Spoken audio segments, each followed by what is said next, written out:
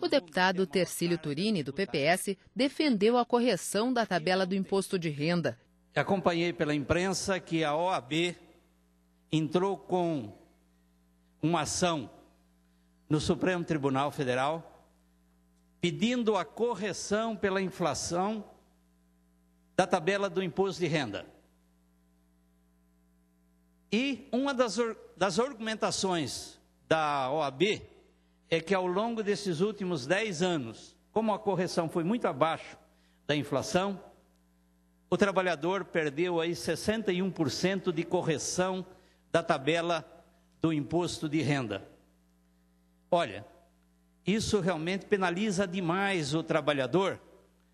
E hoje, pela tabela atual, quem ganha um pouquinho acima de R$ 1.700, realmente já está pagando o imposto.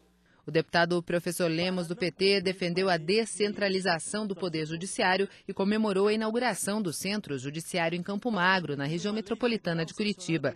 E ao seu Maron, do PSDB, defendeu a duplicação da PR 407. A insegurança da população dos bairros de Paranaguá cortados pela 407, lembrando que a 407 liga Paranaguá à Praia de Leste, fora a falta de segurança nos bairros nessa pista única, falta de passarela, falta de viadutos. Nós temos também a incapacidade dessa rodovia de dar vazão a todo o tráfego, principalmente na época de verão, como vemos aí os engarrafamentos. Enfim, por todos esses motivos, e agora por um a mais, de poder ligar Paranaguá Praia de Leste em pista duplicada, de acordo com o que merece uma movimentação de cargas portuárias, é preciso não só o governo do estado construir essa nova via Praia de Leste a Pontal do Sul, mas também imediatamente a empresa Ecovia, que está remunerada para isso com o pedágio que é pago diariamente, ela possa iniciar e já tem o projeto pronto e se diz pronta a iniciar os trabalhos de duplicação dessa rodovia. Os deputados Enio Verri e Elton Welter, do PT, repercutiram o pedido de demissão da secretária de Fazenda, Josélia Nogueira, e questionaram o déficit do Estado. O presidente da Assembleia, o deputado Valdir Rossoni, do PSDB, rebateu.